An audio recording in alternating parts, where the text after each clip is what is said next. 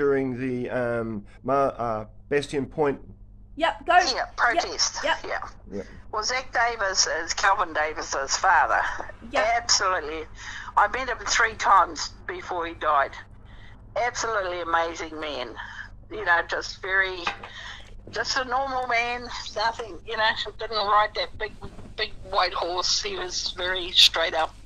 Anyway, Zach Davis was at this meeting of uh, about 36 um, kaumatuas from all around New Zealand, uh, along with Dan Davis and, you know, all, all those old, you know. Yep. Anyway, they went down, and funnily enough, apparently, um, on the Māori channel, the Ratana Pa has said that they will not be electing any more of the Labour Depart- Labour Party's members into Parliament under their under their star. Well, at the Green Hotel at this particular time, they had had a meeting before going to Parliament in through the Ratana Pa that they needed somebody for Winston Peters. Winston Peters wouldn't come up come up to the front seats unless he had a left hand and a right hand man. Wow. So the Kaumatuas said that they would approach two par- two MPs and get them to help Peters out. Otherwise, he wouldn't come up front because Yeah. he'd already been let down by the National Party. Them walking across the floor and leaving him with egg on his face. It wasn't going to happen again. Yeah. So these Kaumatuas put forward Zach, da- um, Kelvin Davis and Little, and they would approach them, and they did. And um, when it was put to Zach Davis that maybe his son, without had getting his permission, he wouldn't do it. So they needed to know for sure. Zach Davis stood up, thumped the table, and said, "When I ask my son to do something, he will do it." And if I ask him to do this for us, for his people, he Oh, will do it. wow. Now that came from his father, and we were all standing there because we were serving their dinners, and we heard that, and we were quite impressed with that because we knew that Kelvin Davis would then be for the people, yeah. and to this day, I still believe that.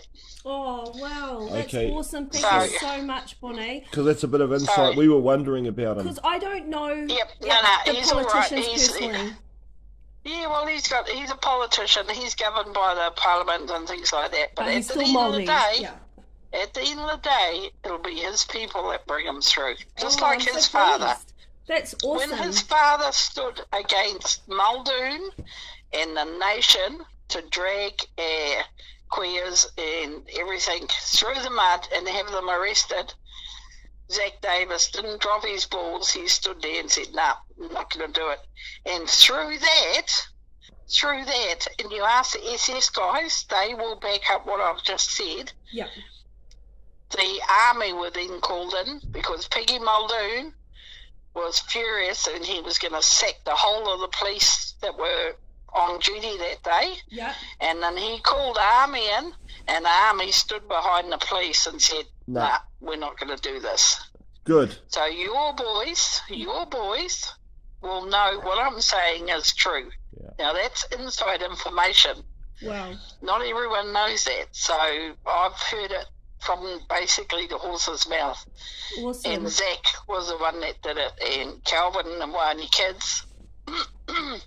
and that's why I know you go up in front of any of those Davises, they're there for the people. yeah. You tell them the story, and it's not, uh, you know, a bullshit story. They will back their, they will back their people at the end of the day when the when the Trump's down. That's where they'll go. Awesome. Awesome. Thank you. That that gives us Yeah, a bit of hope, doesn't it? yeah. So we've Oh got yeah, Moldy of course in, it does. Yeah. because we've got Moldy now in, in, in government now, who who Yeah. that we can we we can hope ha- have, will make a change.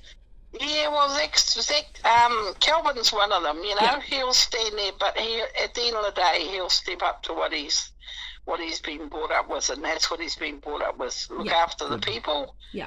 And and when there's hope for the people, stick by them and Yeah. don't don't let them down because he never ever did, Yeah. and his father would roll over in the grave, and, and Kelvin would know that. Yeah. So Awesome. so they were they were they were put up in Parliament through the Grand Hotel. That's where it was all elected, and we all heard we all knew what was going on. Yeah. So when Winston stepped up and took his place, where the kaumatuas were hoping he did, everyone runs Winston down, but he's been the strength of Maori. He hasn't let Māori down. He's he stood against Ngāti Whātua, you know, all the crooked Māoris, Yeah. but the good ones, Winston Peters has stood by. So What about Te people Pone shouldn't give him a though? hard time. Was he not the the because the Puni Kokiri's quite terrible, aren't they? Well, I'm not sure what's actually. I don't know. You know, I haven't done a study on them. I am only speaking uh, up on stuff that I know about, and that police thing is one. Yeah. But I couldn't do much. I knew the information on the police, but I couldn't do much about them because I had a liquor license. Yeah. So I had to protect my liquor license because that was my Earnings. bread and butter. So I couldn't step out and say, "Hey, you crooked bastards!" You know, you didn't pay your taxes. So everyone that you put in jail under the not paying your taxes, you are you shouldn't have been trading. So you were you were trading falsely, Yeah. and and the thing with that Monica and Peter is the fact is when you guys find that information, they've probably hidden it by now. Yeah. I can't remember whether it was between 2005 and 2007. Could have been around about 2012. Well, that's only that's under 10 years ago. Yeah. So they're still suable for that. But the thing is, it's also the judges. See, the judges have got a bond, Yeah. Yeah. and they they've got a suable bond. And if you can pull that information up, it's not only the cops that are in the crap; it's the judges as well that have convicted anybody in between that time Yeah. of them Yeah. supposedly not being haven't paid their taxes, so they shouldn't be trading because they're a business. And if they're trading falsely, they're suable. And anyone that they put in prison can come back and sue them. Yeah. Okay. You know, they, they the police take an oath not to harm. You know, like um, not to harm people. but the police aren't the police everyone- anymore, are they? Are they? uh, They're they're different, aren't they? Well, they changed from that to the police force. Yeah. So they changed their name after that because they their business was, see, Inland Revenue shut their business down. So there you go. So they the did shut it down. I thought they didn't shut it down. No, when they, They shut it. They shut it down, and then they made a new, new name. business. Oh. They started up as a, under a new Businesses new do it all the name. Yeah. So the Yeah. problem we're having with Te Puni Kokiri is the way that um, Nanaia Mahuta, she signed off on the seabed and foreshore, and Yep. that she, um, you know, they take massive money, but they don't pay their wardens. I've got a real problem with Māori wardens not getting paid, and like they've been Yeah, around the yeah. longest, you know, since the late 1850s, was it? Yes. Yeah. Yeah. yeah. It really Yeah, well, me. They, well, they don't. It's the same old story. They don't want them up and going because they've actually got more rights over our people. Yeah, See, if the Maori wardens aren't there, then the police have to step up. And the Māori So wardens do of course they're not. better job. Of course I'm not. They're not going to want the Maori wardens there because the Maori wardens can go, hang on, hang on. No, you can't do that because she wasn't doing this or they weren't doing that. Oh, it's a third And they party can- witness, they can- say. They Yeah. can step in. Yeah, the Maori wardens can step in and say, hang on, hang on. I'm taking this to the whānau Yeah. and we will handle it. And- They've got authority to do that over the police. Yeah. They can step in and stop the police from arresting them if the Maori wardens are prepared to take that issue on. And that's why the Now, the councils police hold their money, eh? Yeah, yes, yeah, the police don't want the Maori wardens doing that because hence, hey, guess how much money they get from having them go through the courts and going to jail? Yeah. One yeah. point one One billion. point Yeah, one. Yeah, a lot of money. Well, each each prisoner is worth one point two seven million Yeah. a year Yeah, to the government. yeah. So Yeah. Well, when we worked it out, it was like one trillion US. It ended up being 125 million a prisoner. But that was when they tapped into the sovereign bonds. yeah, yeah. But that was a Oh, separate yeah, thing. and that's a sovereign bonds. Yeah, yeah, that was a separate to- thing. so- that was corrections, but police was another thing as well. And okay, well here we we will put that down. Okay, they get one point. Say we'll work on my figure, which is the lowest lowest point. Yeah. One point two million a year. Yeah. What do those prisoners get? They get locked up They get locked up. twenty three hours. Yeah. Twenty three hours a day. Yeah. That is inhumane, and that should go to the UN. Yeah. You should somebody should do a le- you know somebody. Well, the police should need do to step letter. down. Well, The police can just step down if they don't do the right now. Well, they won't. They won't because the government need the police Yeah, and but- blah blah blah. the government can't operate if Ratana Church doesn't take that money on the 26th of January. Yes, that's right. Yes, So but then- they're going to do it because Ratana will want the money. They're after the money. Yeah. So of course they're going to they're going to slip it through. What we need to do is protest and let the public know, Yeah. and and the white men's side too, on what's actually going on and who's who's actually doing the, um you know who's letting who's letting the Maori who's letting Indigenous people of New Zealand down Yeah. by um by lining lining their pockets with everyone's harmful treatment you know that's Yeah. going on. The ethical dilemma, it's just like how can they live with yeah. themselves? But here's the Yeah. thing I got arrested the other day. They've taken our vehicles, so we can't even get up to Ratana to stop this, right? Oh, yeah, And then yeah. I'm summoned into court in Christchurch on the 26th of January.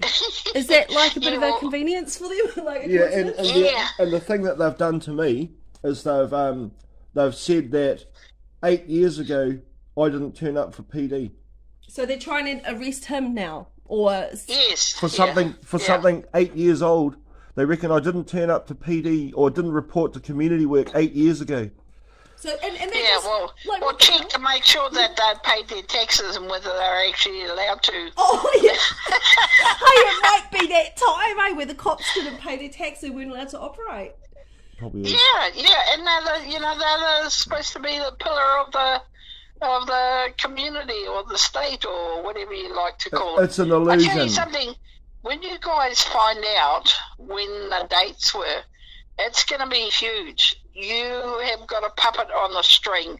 If you can, if you can follow that up and find out when that was, when the actual year year was. I think they were operating for about eighteen months. That's a lot of prisoners, man. Yeah. And Oh, all you thank then so do is go to the courts. Then you, no, don't thank me until you find it. Okay. Um, then you go to the courts and you find out who was prosecuted, who was whatever happened, and then you just approach them. yeah. Or you turn around and use it as a trump card to the police and go and say, hey, you guys, I've got this information, and you better back down and leave us alone. And they'll red flag you. They've red flagged me because they, they, years ago, they, um, I had a hold Holden Ute, and of course I was stopping in at my brother's up in Whangarei. Yeah. Well, my brother, they were always trying to catch him, but they could never catch him. Yeah. Anyway, I would stop in there, and I'd always stop in there. That was my halfway point. I'd stop in there, have a cup of tea, catch up with my brother, yada yada. You know how you have a rest for a couple of mm. hours, Yeah. just catch up, and then I'd jump in my ute and then go all the way to Waimahana. Oh, And I- when I come back from Waimahana, I'd do the same thing: stop and have a cup of tea, maybe have some lunch, depending. Drop my dad off, and then come back to Helensville.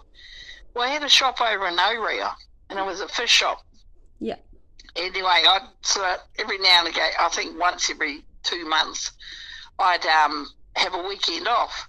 So I'd pick my dad up, take him up to Waimahana. He was getting pretty elderly by then, and um, come back. So I actually stayed about four hours this particular um, Sunday, and I had to work Monday in the shop. So I had to be down at Auckland Viaduct at three o'clock in the morning to pick five bins of fish up for the for my fish shop.